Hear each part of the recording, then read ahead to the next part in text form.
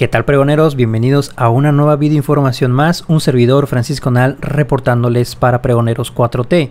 El día de hoy, 30 de septiembre del 2021, mis estimados pregoneros, se terminó el mes de septiembre, el mes de estas conmemoraciones patrias.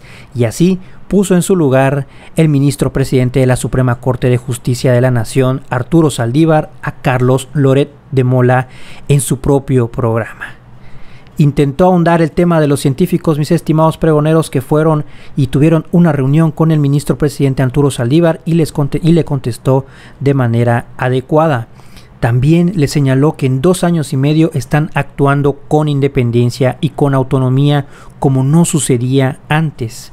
Las presiones en el pasado a jueces y ministros sí eran muy pesadas en sexenios anteriores, pero le recalcó que ahora no el aparato del Estado no se ha usado contra ningún juez y no hay un pleito entre el presidente y los jueces. Tómala. Así le contestó el ministro presidente Arturo Saldívar a Carlos Loret de Mola. Está en la coyuntura, y déjame empezar por la coyuntura porque hay muchas cosas de conversar. El tema de los científicos, los 31 científicos contra quienes se ha solicitado orden de aprehensión y hasta en Almoloya, etcétera. No se está abusando de la figura de delincuencia organizada contra un grupo de científicos. Yo no puedo prejuzgar sobre ese asunto. A quien le ha tocado decidir sobre él y si se insiste en este tema le tocará es a un juez federal. Lo que sí puedo garantizar es que este juzgador federal seguirá actuando con independencia, con autonomía y con imparcialidad. Si yo me pronunciara sobre un asunto que está sujeto a poder ser presentado nuevamente ante un juez, yo estaría prejuzgando e incidiendo indebidamente en la autonomía del juzgador. Y lo recibió, recibió a algunos de estos científicos. ¿Cómo estuvo esa reunión? Fue una reunión amable, eh, cordial. Simplemente me expusieron el caso y les reiteré que pueden tener confianza de que el Poder Judicial Federal seguirá actuando en este caso y en todos con independencia y con imparcialidad. Hay de pronto eh, una crítica del presidente en el sentido de que muchos jueces están vendidos, vendidos a los conservadores, a la derecha. Pero luego hay también mucha preocupación de que hay jueces que están sometidos, que son jueces de consigna. ¿Cómo queda en este ajetreo el Poder Judicial? En esta administración no hay jueces de consigna. Se ha demostrado reiteradamente con decenas de sentencias en todas las materias que en los dos años y medio que llevo de presidente de la Corte, los jueces y juezas federales están actuando con independencia y con autonomía al margen de que sus decisiones puedan ser en ciertos casos opinables, discutibles, lo que pasa en cualquier país del mundo cuando en temas polémicos un juez dicta una decisión. ¿Hay jueces corruptos? Hay jueces corruptos, sí, por supuesto, menos que cuando yo llegué a la presidencia de la Corte. No se ensaña el presidente López Obrador con los jueces, particularmente cuando los fallos le son adversos. A ver, es el presidente, tiene un megáfono de este tamaño, es la mañanera, es la banda presidencial, y de pronto se va contra un juez, un juez y lo ataca brutalmente y lo acusa de cantidad de cosas. No es demasiado, no, abusa el presidente de su poder. Yo he sostenido, y lo voy a hacer en otro, otra vez, que no voy a entrar a un debate, una confrontación con lo que se dice sobre el Poder Judicial por parte de otros actores políticos. Y si hablamos de presiones, desde mi punto de vista, tener un discurso en relación con el actuar del Poder Judicial, que puede ser muy fuerte, muy duro, no es en sí mismo una presión. Las presiones que se daban en el pasado hacia jueces, hacia magistrados y hacia ministros eran de otro nivel. Esas sí eran presiones. Este simplemente es un desacuerdo.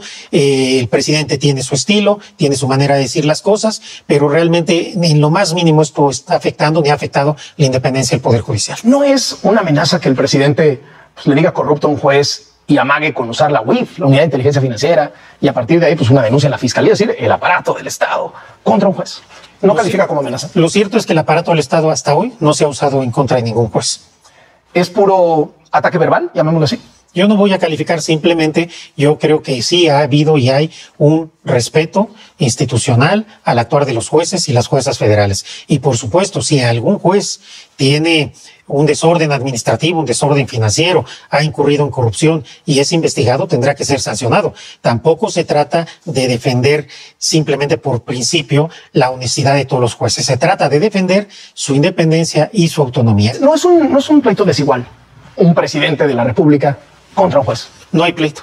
Yo me remito a los hechos, a las sentencias que dictan los jueces, las juezas, al trabajo que hacemos en la Corte. Lo demás eh, realmente no es sino una especie de espectáculo político, que los jueces tenemos que estar ajenos a eso. Nosotros tenemos que estar concentrados en nuestro trabajo. De los jueces a los que el presidente ha atacado, ¿usted tiene sospechas o no? Yo no voy a referirme a ningún caso en particular porque estaría violando la presunción de inocencia. Muchos especialistas se quejan de que el gobierno abusa de la figura de delincuencia organizada. ¿No se está abusando de esta figura, ministro? Para eso estamos los jueces. Si se abusa de la figura, el juez establecerá que no es procedente lo que está solicitando la fiscalía. ¿Y los jueces no están siendo muy laxos con esta figura y, y permitiendo que demasiadas cosas entren como delincuencia organizada? Pues cuando a lo mejor no son tanto, o a lo mejor no sé si para eso se creó, pues un tema de crimen organizado, de grandes capos, etcétera. Yo creo que los jueces están siendo muy cuidadosos, muy escrupulosos y muy serios. Una de las cosas que han señalado sus críticos a propósito de lo que platicábamos hace un rato es, ministro Saldívar como presidente de la Corte tendría que salir a contestarle al presidente López Obrador, a defender a sus jueces cuando los ataca y no presenta pruebas, a defender al Poder Judicial. ¿Cuál es la estrategia que usted sigue al plantearme esto que me está diciendo y es, yo no voy a confrontar, yo no voy a entrar a los dimes y directos con el presidente? Yo voy a decir algo que he repetido muchas veces. El presidente, más allá del discurso en las mañaneras, ha sido profundamente respetuoso con el Poder Judicial Federal no ha intervenido ni ha presionado en una sola decisión que haya dictado el Poder Judicial. Lo que quieren ellos es que yo me suba a una tribuna pública, a un papel que no me corresponde como presidente de la Corte. Yo lo que estoy haciendo es garantizar a las juezas y los jueces federales que pueden dictar sus sentencias con plena responsabilidad y seriedad, con imparcialidad y sin temor alguno. ¿La mañanera no es presión? No. ¿Cómo es la relación entre dos presidentes de dos poderes que se suponen separados el uno? Lo primero, somos presidentes de dos poderes del Estado y como presidentes de poderes del Estado hay temas de Estado sobre los que tenemos que dialogar. Segundo, el diálogo la cercanía incluso con reuniones, con desayunos o con comidas del presidente de la Corte con presidentes de la República no es reciente. Lo hacían todos mis antecesores, pero no se sabía. De tal suerte que no hay nada vergonzoso ni vergonzante en eso. Por eso no lo escondemos. Yo tengo con el presidente una muy buena relación, una relación de confianza, de respeto, de afecto, y en lo particular le tengo agradecimiento por todo el apoyo que le ha dado al Poder Judicial Federal. Esta cercanía esta interlocución, esta mutua confianza y este mutuo elogio, ¿de qué le ha servido? ¿De qué, ha servido en la operación cotidiana? Gracias a eso pudimos construir una reforma judicial desde el Poder Judicial que el presidente... Y no desde el Ejecutivo. Exactamente. No solo que el presidente la aprobó, sino la apoyó.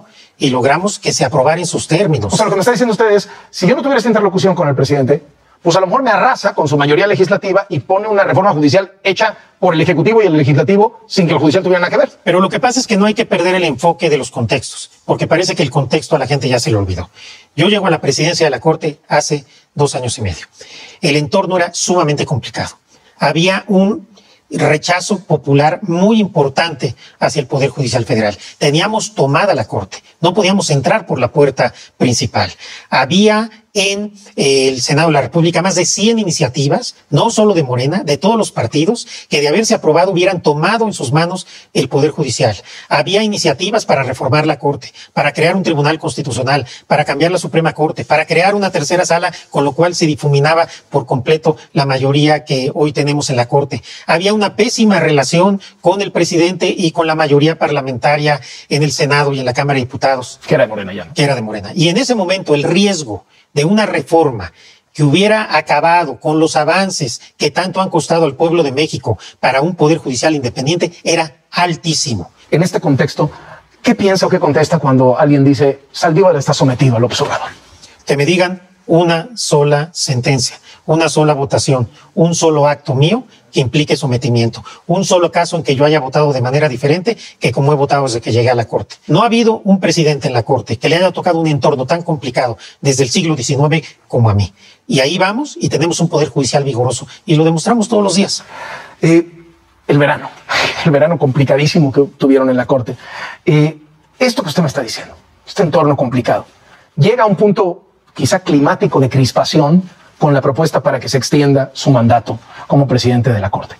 ¿De quién fue idea eso, ministro? Fueron cuestiones distintas. Es decir, una situación es lo que se vivió cuando yo llego a la presidencia eh, de la Corte y otra situación es cuando ya habíamos arreglado todo, ya hasta habíamos sacado la reforma y luego sale Como este transitorio, mis obviamente generó mucho ruido, generó mucho lo dejó callado Al final, el ministro presidente Arturo que Saldívar a y eso- Carlos y es algo Loret que ya de Mola, está los superado. montajes. Estamos Quiso crispar en esta adelante y no entrevista, quiso pues ¿De sacarlo de quicio No o a comprometerlo a eh, decir hablar algo que pues Se él en su derecho y en su respeto Me tardé el tiempo eh, que me pues, tenía que como tardar para ministro cuidar al Poder presidente Judicial, para no consolidar quiso la pues, reforma, para que se entrar en aprobara la reforma, confrontación para con que él pasaran los y plazos en que esta adecuadamente podía y con respeto y le cuando sentí que contestó era el momento todas estas, en que estos, lo cues- debía estos hacer y lo podía cuestionamientos mis estimados pregoneros salvando que debería confrontar al presidente Andrés Manuel López Obrador le planteó Carlos Loret de eh, Mola no me tardé y mucho, él, eh, me con tardé lo un que me tenía que tardar y al tremendo final no esto es de resultados contundente y ahí está el le contestó más allá del discurso, el presidente Andrés Manuel López. Obrador en sus conferencias, en sus mañaneras,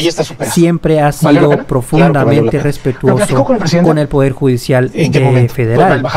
Nunca ha intervenido ni ha presionado eh, en una ¿cómo lo sola decisión eh, del Poder muy respetuoso, muy afectuoso. Tómala. Dijo que respetaba la decisión, para que aprenda Carlos Loret en de Mola una vez más con uno de sus, eh, invitados queda en tremendo ¿y la oposición cómo se portó? Tiene muy todo buena relación con el presidente Andrés Manuel, este López Obrador. Realmente y yo pues tengo, ya después de toda buena controversia de que se, con, exten- se extendía eh, pues, su, casi con todos los partidos su políticos. presidencia Eh, en la Suprema Corte de Justicia de la Nación, pues prácticamente ya quedó atrás. Y también y el con ellos, eh, pues, cualquier problema que hubiera habido está ya su superado. decisión, mis estimados pregoneros, así como lo menciona No, yo no en diría eso. esta Cada quien tiene en que política, le digan sobre todo una un sola congreso, ocasión en eh, que sus intereses, o una sus sola sentencia, los una sola votación. Entonces, un solo a ver, esto es acto parte de un en el que que el presidente que, que Arturo que. Saldívar pues haya, le haya nadie. ¿Cómo influido el presidente Andrés después de Manuel? López ¿Cómo quedaron sus Obrador colegas ministros? Hablaron mucho desde fuera. No hay que había una enorme división, que había un enorme una enojo excelente entre los relación que tiene ministros con por el la posibilidad presidente Andrés Manuel López Obrador y a había pesar de muchos, jueces ¿Qué pasó corruptos, dentro de la Corte? pues Es obvio que una prácticamente decisión se de este está tipo, pues, avanzando poco a poco en estos dos años y medio como incomodidades, lo las comenté. vivimos durante estos Esperemos cuatro que en los, en pero los una meses vez que vienen pública con todas las mi decisión, resoluciones las que haya y todos los juicios, mis ¿Está estimados sucesión? pues haya buenas No, yo creo que resoluciones eso le y corresponde a pues mis compañeros. como él lo menciona, el presidente Bella, no tiene nada que ver con el poder o- judicial. O como dice el presidente, corcholatas Bueno. ¿no? esta es la información Bueno, este es que un les momento traigo por el momento. ocurrido por lo Más adelante, más información y más videos. de la Corte, Si el video pues les gustó, ayúdanos con ese poderosísimo like y tendrá comparte que la información. con el Y tiempo. La verdad, recuerden que estamos en busca de la información de la en esta cuarta transformación. Nos tendrá que vemos en el siguiente transcurso video, mis estimados pregoneros, que sigan pasando pues ya en ese momento noche. se verá a quienes tienen, eh, a quienes les alcanza y a quienes no.